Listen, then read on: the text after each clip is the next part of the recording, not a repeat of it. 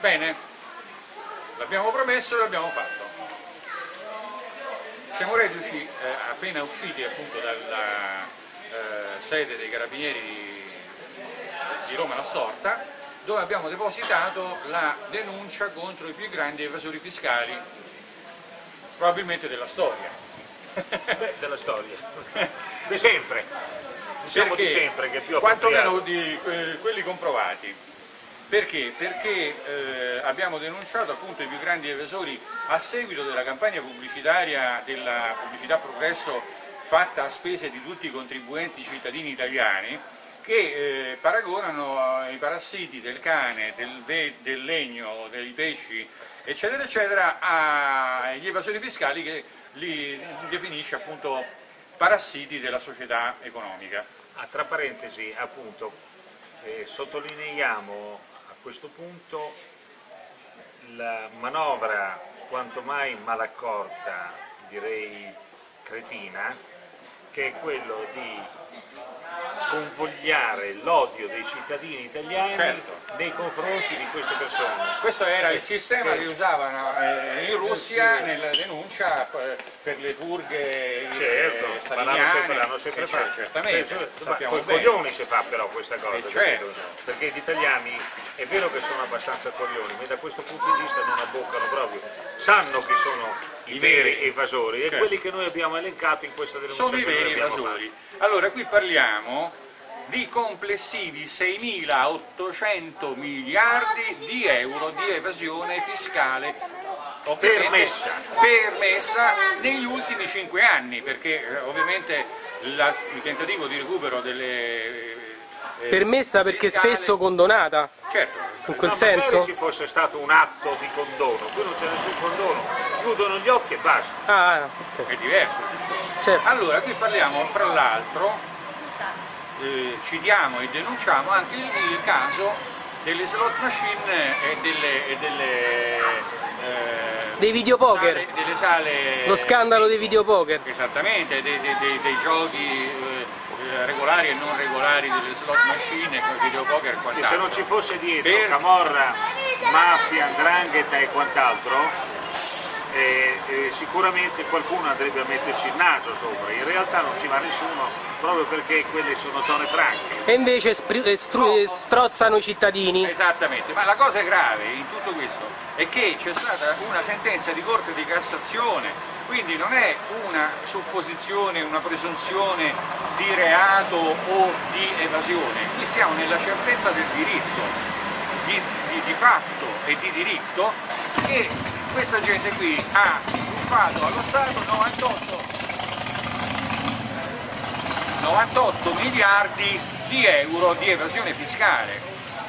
Ci sono E gli articoli sui giornali di questi questi giorni. signori lo Stato sta trattando perché questi signori presi con le mani nel sacco e dove oramai non possono più intervenire in nulla, stanno cercando di trattare con lo Stato per chiudere al 30% e cioè pagare 30 miliardi di euro. Allora, io dico questo, è mai possibile che lo Stato che deve prendere i soldi da persone certe, per fatti certi, da, eh, per entità e quantità certe, va a mettere le mani in tasca invece a tutti i cittadini sottraendo 63 miliardi o 43, non si sa bene quanti siano, quando ne deve prendere 98.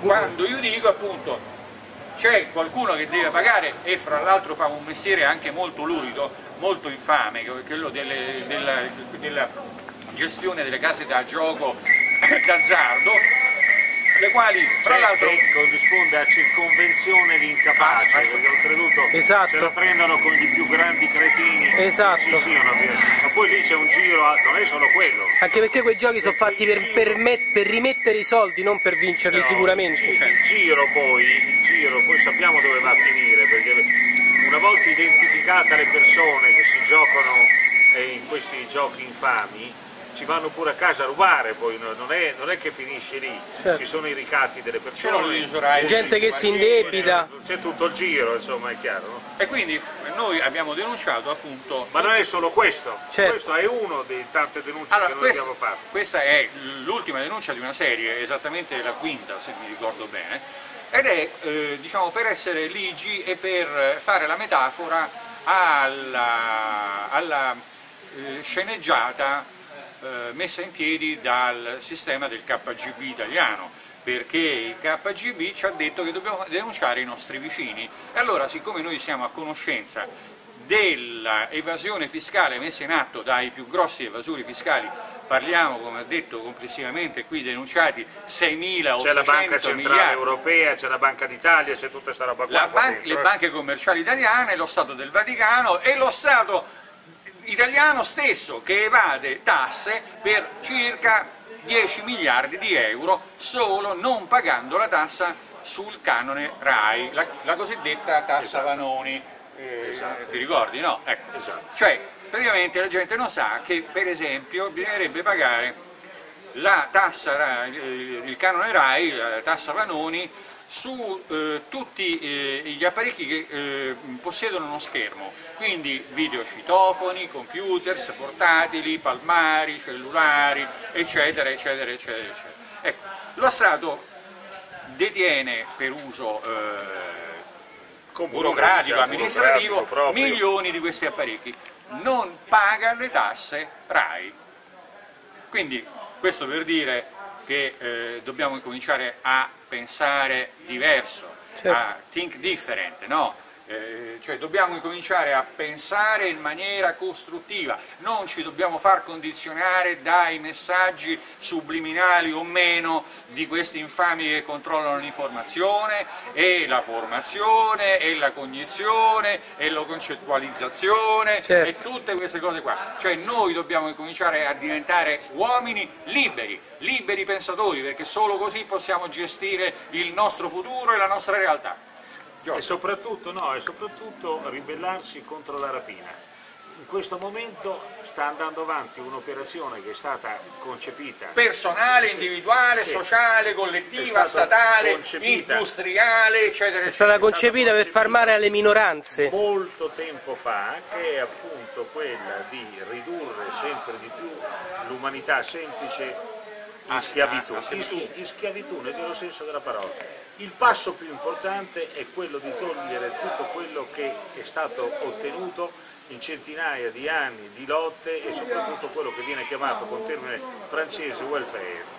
Scusate, il termine inglese welfare. Allora questo lo devono togliere, tant'è vero che eh, verranno tolti parte degli assegni familiari, L'assistenza la agli handicappati, tutte eh, queste cose.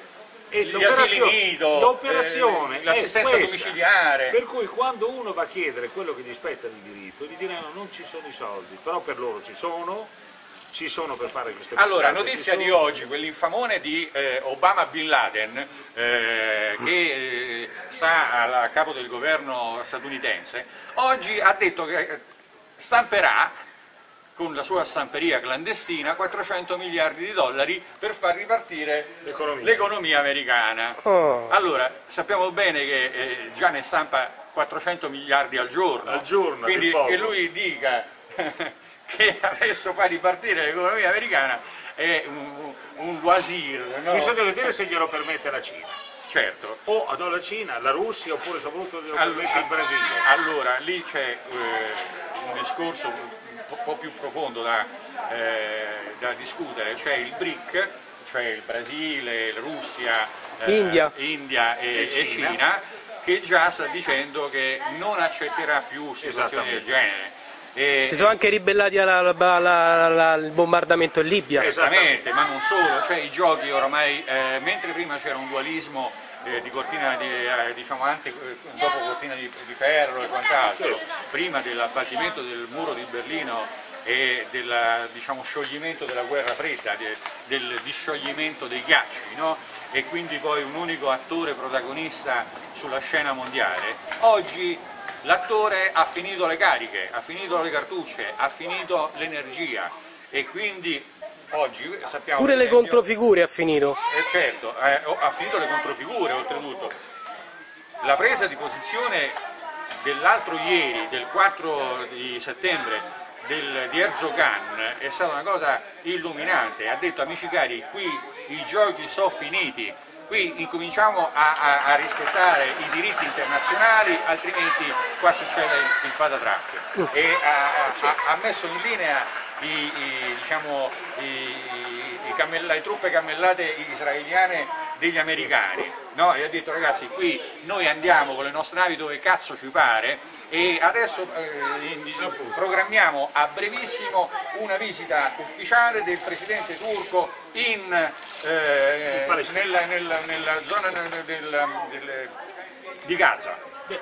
Sì, vabbè. Oh, eh, e quindi, eh, oltre al riconoscimento, oltretutto, oltretutto chiudiamo tutti i rapporti industriali, commerciali e di cooperazione eh, internazionale fra Israele e la Turchia e poi è da vedere il resto. No, e poi ha detto la cosa più importante, con questo chiudiamo perché sennò diventiamo troppo noiosi, ha detto che da ora in poi qualsiasi nave che arriverà di aiuti a Gaza sarà scortata dalla flotta militare certo. turca. E quindi è, vedere, questo, è, tutto da vedere. Con questa dopo... la chiudiamo. No, voglio però fare di nuovo un appello per, per dire, noi abbiamo presentato questa denuncia ad uso e consumo nostro, dei cittadini e della collettività tutta eh. e la, lo mettiamo online sul sito di Alba Mediterranea 1 scritto tutto Alba Mediterranea affinché altri facciano uguale in modo che i cittadini possano scaricarlo, lo possano leggere, lo possano valutare ed eventualmente presentare e depositare anche loro a qualunque tenenza dei carabinieri, commissariato o la Guardia di Finanza, la Guardia di Finanza è la più indicata in questo caso visto che riguarda delitti finanziari e procure della Repubblica di tutta la nazione. Quindi ragazzi se davvero volete cambiare le cose, ora non è più tempo di chiacchiere, ora è tempo di azione. Quindi muovetevi. Grazie.